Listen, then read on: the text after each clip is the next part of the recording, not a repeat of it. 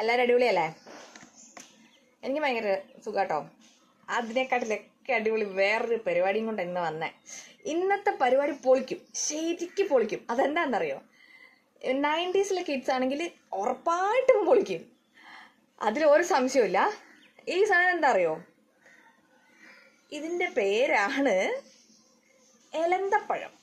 നമ്മളില്ലേ മറ്റേ ചെറുപ്പത്തിൽ ഞാനൊക്കെ സാധാരണ സ്കൂളിലാണ് പഠിച്ചത് അപ്പോൾ അവിടെ ഉപ്പൻചേട്ടന്റെ കടയിലേ. മറ്റേ ഇരുപത്തഞ്ച് വയസ്സിന്റെ ഉണ്ട് അമ്പത് വയസ്സിന്റെ കുറച്ചുകൂടെ വലുതാ. പിന്നെ ഒരിടയ്ക്ക് ഇരുപത് വയസ്സിക്ക് കുറച്ച് പരന്നതൊക്കെ ആയിട്ട് പുളിയച്ചാറ് വന്നിട്ടുണ്ടായിരുന്നു. അപ്പം ഞാൻ കുറേ ദിവസങ്ങളായി ഈ പുളിയച്ചാറിന്റെ റെസിപ്പി അന്വേഷിച്ച് നടക്കുന്നു. അങ്ങനെ ഞാൻ കുറേ യൂട്യൂബിൽ തപ്പി നോക്കി കുറേ പേരോട് ചോദിച്ചു നോക്കി. എല്ലാവരും പറയുന്ന റെസിപ്പി പുളിമുട്ടായിയുടെയാണ് അപ്പം എനിക്ക് അവർ പറഞ്ഞു അത് തന്നെയാണ് അങ്ങനെ തന്നെയാണ് പുളിയച്ചാർ ഉണ്ടാക്കുന്നതെന്ന് കുറേ പേരെന്നോട് പറഞ്ഞു കേട്ടോ. പക്ഷെ അപ്പോഴും ഞാൻ കഴിച്ചിട്ടുള്ള പുളിയച്ചാറിനകത്ത് പുളിനിന്റെ കുരു ഞാൻ കണ്ടിട്ടില്ല. വേറൊരു സാധനത്തിന്റെ കുരു കണ്ടേക്കുന്നത് അന്നേരം ചെറുപ്പത്തിൽ അന്നേരം പിള്ളേരൊക്കെ പറയും മറ്റേ അതിന്റെ കുരു വിഷക്കായ അത് വാ വയറ്റിൽ പോയിട്ടുണ്ട് ചത്തുപോവും അങ്ങനെയൊക്കെ പറയുമായിരുന്നേ. അപ്പോൾ ഞാൻ എത്ര ആലോചിച്ചിട്ട് ഇവർ പറയണത് ഞാൻ കഴിച്ചിട്ടുള്ളതും വെച്ച് നോക്കുമ്പോൾ സിങ്ക് ആവുന്നില്ല അപ്പോൾ അങ്ങനെയാണ് ഞാൻ ഒരു ചേട്ടനെ പരിചയപ്പെട്ടത് ഫ്രൂട്ട്സ് മേടിക്കും വഴീന്റെ സൈഡിലുള്ള ഒരു ഒരു ഇച്ചിരി വയസ്സായ ഒരു അപ്പച്ചനാണേ. അന്നേരം ഞാൻ പരിചയപ്പെട്ടു. അപ്പോൾ പുള്ളിയാണ് എനിക്ക് ഈ റെസിപ്പി പറഞ്ഞു തന്നത്. അതായത് പുള്ളി തമിഴ്നാട്ടിൽ ഈ പുളിയച്ചാർ ഉണ്ടാക്കുന്ന കടയിൽ ഉണ്ടാക്കുന്നതിനെ കമ്പനി പോലത്തെ സ്ഥലത്ത് ജോലി ചെയ്തിട്ടുള്ള എന്റെ പൊന്നോ പുളിയച്ചാർ ഉണ്ടാക്കിയ കഥ കേട്ടിട്ടുണ്ടെങ്കിൽ എങ്ങനെയാ ഞാനൊക്കെ അത് ഭയങ്കര ടേസ്റ്റിലാണ് ആ സാധനം കഴിച്ചിട്ടുള്ളത്. അയ്യോ ഇരുപത്തഞ്ച് പൈസക്കൊക്കെ വേണ്ടിയിട്ട് അയ്യോ ഇതിന്റെ സ്കൂളൊക്കെ അടയ്ക്കുന്ന വലിയൊരുഷിന്റെ സമയത്ത് ഒരു രൂപ വരും നാല് പുളിയച്ചാർ മേടിക്കാൻ പറ്റുമായിരുന്നു. അങ്ങനെയൊക്കെ വാങ്ങിയിട്ട് ആണ് ഞാനൊക്കെ കഴിച്ചുകൊണ്ടിരുന്നത് കേട്ടോ. അപ്പോൾ ആ പുള്ളിയാണ് എനിക്ക് ഇതിന്റെ റെസിപ്പി പറഞ്ഞത്. അത് ഉണ്ടാക്കണത് ശരിക്കുള്ള ഒറിജിനൽ റെസിപ്പിയിൽ അത് ഉണ്ടാക്കണ പഴമാണ് ഇത്. ഇത് തമിഴ്നാട്ടിലും കർണാടകത്തിലുമാണ് കൂടുതലുള്ളത്. ഇപ്പം ഇതിന്റെ സീസണാണ് അതുകൊണ്ടാണ് നമുക്ക് നമ്മുടെ നാട്ടിൽ ഇത് മേടിക്കാൻ കിട്ടുന്നത് അപ്പം ഇതിന്റെ ഇത് തമിഴ്നാട്ടിൽ ഉണ്ടാക്കണത് എങ്ങനെയാണെന്ന് അവർ പറഞ്ഞു തന്നതെന്ന് വെച്ചാൽ ഇത് ഇങ്ങനെ കുറെ വാടിയൊക്കെ നാൽപ്പത് രൂപയും കിലോയ്ക്ക്. അപ്പം ഹോൾസെയിലായിട്ട് എടുക്കുമ്പോൾ അവർക്ക് കിട്ടുന്നത് അവർക്ക് കിട്ടുന്നത് ഈ നാൽപ്പത് രൂപയ്ക്ക് ഇത് വാങ്ങിച്ച് ശർക്കരയൊക്കെ കൂട്ടി ഇത് ഉണ്ടാക്കിയിട്ട് കവറിലാക്കുമ്പോൾ അമ്പത് പൈസയാണ് അത് അവർക്ക് എങ്ങനെയായാലും മുതലാവൂല. അപ്പം ഇവരെന്ത് ചെയ്യുന്നറിയോ ഈ സാധനം ഇങ്ങനെ മറ്റേ ഇങ്ങനെ വാടി കുറഞ്ഞൊക്കെ കഴിയുമ്പോൾ അത് അവർ കളയൂലോ. അപ്പം അങ്ങനത്തെ എല്ലാം കൂടെ ഇവരെടുക്കും. എന്നിട്ട് അത് വെച്ചിട്ടും പിന്നെ ഇതിനെക്കാട്ടിലും കോസ്റ്റ് കുറഞ്ഞിട്ട് ഇങ്ങനെ നമ്മുടെയൊക്കെ വീട്ടിൽ ചാമ്പങ്ങ ഉണ്ടാകുന്ന പോലെ തമിഴ്നാട്ടിൽ അരുനെല്ലിക്ക ഉണ്ടാവും. നമ്മുടെയൊക്കെ ചില വീടുകളിലൊക്കെ അരുനെല്ലിക്ക ഉണ്ട്. അപ്പം ഈ അരുനെല്ലിക്കയും ഇതിന് പകരമായിട്ട് അവർ ഉപയോഗിക്കും. ഈ രണ്ട് സാധനം വെച്ചിട്ടാണ് നമ്മുടെ പുളിയച്ചാർ ഉണ്ടാക്കുന്നത്. ശരിക്കും പറഞ്ഞാൽ പുളി വെച്ചിട്ടല്ല പുളിയച്ചാർ ഉണ്ടാക്കുന്നത്. പുളി വേണം കുറച്ച്. പക്ഷേ അതിന്റെ കറക്റ്റായിട്ടുള്ള സാധനം ഈ സാധനം. നിങ്ങളൊക്കെ കഴിച്ചിട്ടില്ലേ? അതിന്റെ ഉള്ളിലൊരു കുരു. മറ്റേ ശരിക്കും പുളിങ്കുരു അല്ലാന്നേ. അത് ഇതിന്റെ കുരുവും പിന്നെ മറ്റേത് അരുനെല്ലിക്കേന്റെ കുരുവാ. ഈ രണ്ട് സാധനങ്ങൾ വെച്ചിട്ടാണ് നമ്മുടെ പുളിയച്ചാർ ഉണ്ടാക്കുന്നത്. അപ്പോൾ നമ്മുടെ അടിപൊളി പുളിയച്ചാർ നമുക്ക് ഉണ്ടാക്കി വെക്കണം അതിന്റെ സ്റ്റെപ്സ് നിങ്ങൾക്ക് കണ്ട നല്ല ഈസി വീട്ടിലുണ്ടാക്കാൻ ഈ സാധനം കിട്ടിയാൽ മതി. അയ്യോ ആ പിന്നെ ഒരു കാര്യം പറഞ്ഞു ആ ചേട്ടൻ എങ്ങനെയാ പറഞ്ഞതെന്നറിയോ പുളിയച്ചാർ ഉണ്ടാക്കുന്ന കാര്യം. അത് അവരിങ്ങനെ വലിയ പാർട്ടി പോലത്തെ സ്ഥലത്ത് ഈ സാധനം എല്ലാം ഇങ്ങനെ ഉണ്ടാക്കും. നമുക്ക് വെയിലത്ത് വെച്ചിട്ട് ഇത് ഉണക്കിയെടുക്കണം. അവരെന്താ ചെയ്യാന്നറിയോ? ഇതിങ്ങനെ നിറച്ചിങ്ങനെ ഇങ്ങനെ കോരി ഒഴിച്ചിങ്ങനെ വെക്കും. എന്നിട്ട് ഒരു ദിവസം വെയിൽ കൊണ്ട് കഴിയുമ്പോൾ ഇവർ ഇതിന്റെ ഉള്ളിൽ കൂടെ നടന്നിട്ട് ഇത് കുഴച്ച് നമ്മുടെ അച്ചാറ് പരുവത്തിലാക്കും എന്നിട്ട് നടന്നിട്ട് കാലുകൊണ്ട് ചവിട്ടി കുഴച്ചിട്ട് ഉണ്ടാക്കണ സാധനമാണ് പാക്കറ്റിൽ വെച്ചിട്ട് നമ്മളിങ്ങനെ എന്ന് പറഞ്ഞ് ഊമ്പി തിന്നോണ്ടിരുന്ന സാധനം.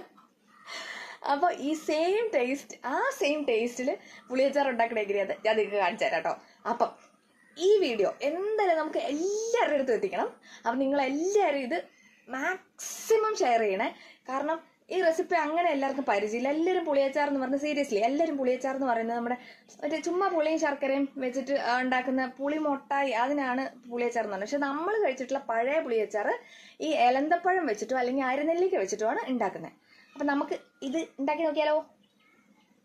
ഓക്കെ നമുക്ക് ആദ്യം ഇവനെ ഒന്ന് കഷ്ണം കഷ്ണാക്കി എടുക്കാം.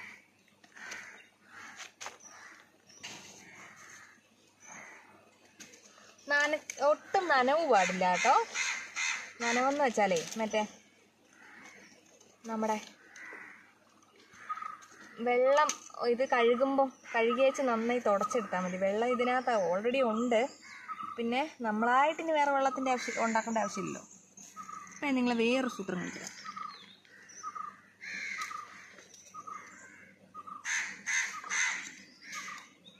ഉണ്ടോ? നമ്മുടെ മറ്റേ പുളിയച്ചാറിനകത്ത് കിട്ടിക്കൊണ്ടിരുന്നത് ചില സമയത്ത് ഇത്ര വലിയ കുരു കിട്ടിയിട്ടുണ്ടായിരിക്കാം. പക്ഷെ ഇതിന്റെ ചെറുതാണെങ്കിൽ ഇതിനേക്കാളും ചെറിയ കുരുവായിരിക്കും പിന്നെ അല്ലെങ്കിൽ കിട്ടുന്ന കുരു ഇതിലും ചെറിയൊരു കുരുവൊക്കെ എനിക്ക് കിട്ടിയിട്ടുണ്ട്. അതെന്നാന്നറിയാവോ? അരുനെല്ലിക്കയുടെ കുരുവാ. അതുകൊണ്ടാ. ഇത് ഞാനിവിടെ വെക്കുന്നുണ്ട്. ഇത് കുറച്ചെണ്ണം കുഴിച്ചിട്ട് നോക്കാം. നമുക്കും ഉണ്ടാക്കാം. തമിഴ്നാട്ടുകാർക്ക് മാത്രം പോരല്ലോ. നമ്മുടെ നാട്ടിലും വേണ്ടേ? ഇതൊക്കെ. അതും കൊണ്ട് ഇവന്മാരെല്ലാം കൂടെ എന്നെ ഇനെന്നറിയാവോ ഇങ്ങനെ നമുക്ക് റെഡിയാക്കി എടുക്കാം. ആദ്യം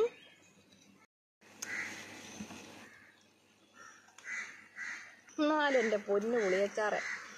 അയ്യോ ഞാനൊക്കെ എങ്ങനെ? ചേച്ചോട് തിന്നു ആരൊക്കെ ചവിട്ടിക്കൂട്ടി തമ്പുരാന് മാത്രം അറിയാ? അങ്ങനെ ഇവനെ എല്ലാം കൂടെ അരിഞ്ഞൊരു മൂലക്കോട്ട് കൂട്ടി വെക്കാം.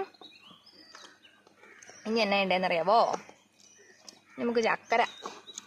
ഇനി ചക്കരയാ? ആ ചക്കരയിലും ഒരു കഥ ആ പുള്ളി പറഞ്ഞു കേട്ടോ. എന്നറിയാവോ നമ്മുടെ ഇങ്ങനത്തെ ചക്കരയല്ല. മറ്റേ നമ്മുടെ ഈ ചക്കരയുടെ പകുതി വിലയെങ്ങാണ്ടേ ഉള്ളൂ. മറ്റേ കള്ളൊക്കെ വാറ്റുന്ന ശർക്കര എന്നാ ആ അപ്പച്ചൻ പറഞ്ഞേ തമിഴ്നാട്ടിൽ. എന്നിട്ട് ആ ശർക്കര ഇങ്ങനെ മേടിച്ച് വെച്ച് അതങ്ങോട്ട് ഉരുക്കും. അതിനകത്തെ കല്ലൊക്കെ കളയാൻ വേണ്ടി. എന്നുവെച്ച് ഒറ്റ ഒഴുക്കിലാന്ന് പറഞ്ഞേ. ഈ സാധനം ഇങ്ങനെ ഇത് കേട് വന്ന് ചീഞ്ഞതല്ലേ അവരിടുന്നത്? എന്നിട്ട് അതിന് മുകളിലേക്ക് ഒറ്റ ഒഴുക്കിലാന്ന് പറഞ്ഞേ. നേരത്തെ അങ്ങോട്ട് ഒഴിക്കുന്നു എന്നുവെച്ച ഒരു ദിവസം കഴിയുമ്പം അതിന്റെ മുകളിൽ കൂടെ നടന്ന് അതങ്ങോട്ട് കുഴക്കും. എന്തായാലും നമുക്ക് ഇച്ചിരി ചക്കരയൊക്കെ തീകി എടുക്കാം. പണ്ട് ചക്കര നന്നായി ചീകി വെച്ചിട്ടുണ്ട്. ഇത് ഒരു ഇരുന്നൂറ്റി അമ്പത് മറ്റേ നമ്മുടെ ഇലന്തപ്പഴമാണ് അതും അര കിലോ ചക്കരയാണ്. നമുക്കിനി ഇത് ഒരു മിക്സിഡ് ജാറിനകത്തേക്ക് ഇടാം. എന്നിട്ട് കുറേശ്ശെ കുറേശ്ശെ ഇട്ടേച്ച് ജസ്റ്റ് ഇങ്ങനെ ഒന്ന് ക്രഷ് ചെയ്തെടുത്താൽ മതി. ഇതും ഇടണം. പിന്നെ കുറച്ച് ശർക്കര ഇടാം. പിന്നെ എന്നാന്ന് ഇടണ്ടേ പിന്നെ ഇടേണ്ടത് നമുക്ക് എല്ലാം പകുതി പകുതി വെച്ചിടാം. നമ്മുടെ ഉണക്കമുളകില്ലേ? ഉണക്കമുളക് രണ്ടെണ്ണം ഇടാം. രണ്ടെണ്ണം ഇടാം. പിന്നെ നമുക്കൊരു ഇച്ചിരി പുളി ഇട്ട് കൊടുക്കാം. നമുക്ക് ആവശ്യത്തിന് ഉപ്പോടെ ഇട്ട് കൊടുക്കാം. എന്നിട്ട് ഇതൊരു ഇച്ചിരി കായത്തിന്റെ പൊടിയാണ്. അതോടെ ഇട്ട് കൊടുക്കാം. ഇനി നമുക്ക് ഈ പാത്രത്തിനകത്ത് ഒരു ലേശം എണ്ണ ഇങ്ങനെ പുരട്ടിയിട്ട് ഈ സാധനം വെച്ചു കൊടുക്കാം. അല്ലെങ്കിലേ ഇങ്ങനെ മറ്റേ പറ്റി പിടിച്ചിട്ട് കിട്ടിയില്ലെങ്കിലോ? ലേശം എണ്ണ മതി. ഒന്ന് ഈ പാത്രത്തെ പറ്റാൻ മാത്രം മതിയേ.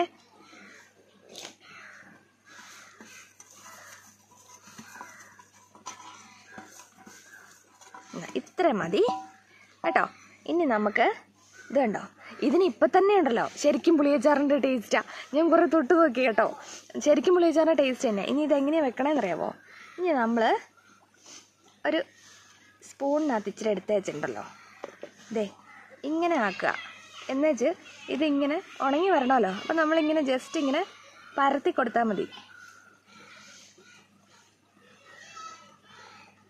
കുറേ പാത്രം വേണം. ഞാനപ്പം ഇതുണ്ടോ?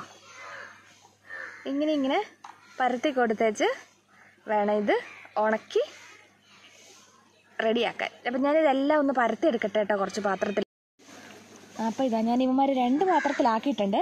ഇനി നമുക്ക് ഇവന്മാരെ നല്ല വെയിലത്ത് വെച്ചേച്ച് രണ്ട് ദിവസം ഉണക്കിയെടുക്കണം. അപ്പോൾ അതാ നമ്മുടെ പുളിയച്ചാറ് ഉണക്കാൻ വെക്കുവാണേ.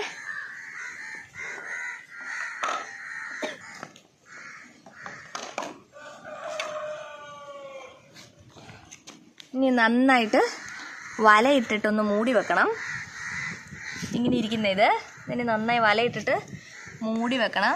നമുക്ക് നോക്കാം എങ്ങനെ ശരിയാവുമെന്ന് അപ്പോൾ ഇതാ ഇത് വെയിലൊക്കെ കൊണ്ട് നല്ല പാകത്തിനായിട്ടുണ്ട്. നല്ല പുളിയച്ചാറിന്റെ സ്മെല്ല് വരുന്നുണ്ട് കേട്ടോ ശരിക്കും നമ്മുടെ ആ പണ്ട് കഴിച്ച ആ സാധനത്തിന് അതേ സ്മെല്ലും ടേസ്റ്റും ഒരു പാത്രം കൂടെ ഉണ്ടായിരുന്നു. അത് തോണ്ടി തോണ്ടി തിന്ന് തീർന്നു പോയതാണ്.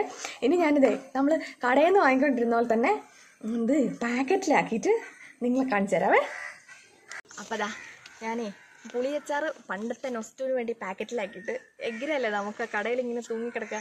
അപ്പം ചേട്ടാ അപ്പം ഈ പുളിയച്ചാറിന് നമ്മുടെ മറ്റേ ഭയങ്കര കറുത്ത കളറില്ല. അതിന് ഒരു കാരണം കൂടിയുണ്ട്.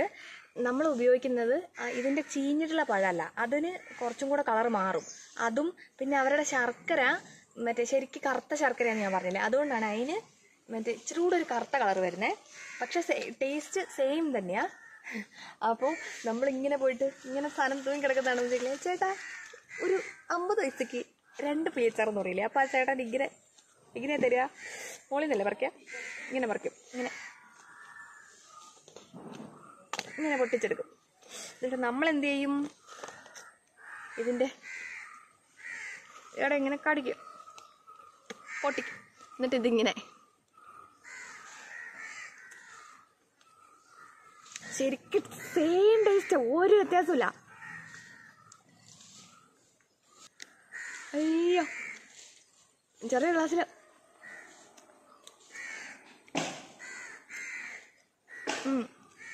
ഇപ്പം ഇലന്തപ്പഴത്തിന്റെ സീസൺ എല്ലാവരും ഒന്ന് ട്രൈ ചെയ്ത് നോക്കും. അടിപൊളിയാണ് എന്തായാലും നയന്റീസിലുള്ള എല്ലാവർക്കും ഭയങ്കര പരിചയമുള്ള സാധനമായിരിക്കും ഇത്. അപ്പം നിങ്ങളെല്ലാവരും കഴിച്ച് നോക്കിയിട്ട്. പിന്നെ ഒരു കാര്യം ഈ സാധനം അങ്ങനെ എല്ലാവർക്കും ഉണ്ടാക്കാൻ അറിയത്തില്ലല്ലോ. അറിയത്തില്ല വെച്ചാൽ ഭയങ്കര സിമ്പിളാണ് അങ്ങനെ വലിയ പരിചയം ഓരോ കുറേ ആൾക്കാർക്ക് കുറവുണ്ടാവും. അപ്പം നിങ്ങളെ എല്ലാവരും ഇത് മാക്സിമം ഷെയർ ചെയ്യണേ. ഇതുപോലത്തെ എന്തെങ്കിലുമൊക്കെ സാധനമായിട്ട് അടുത്തേച്ച പിന്നെ വരുന്നതായിരിക്കും. ഇത് ഞാൻ എന്ന് തിന്നു തീർക്കട്ടെ കേട്ടോ. ഭയങ്കര ടേസ്റ്റാണ്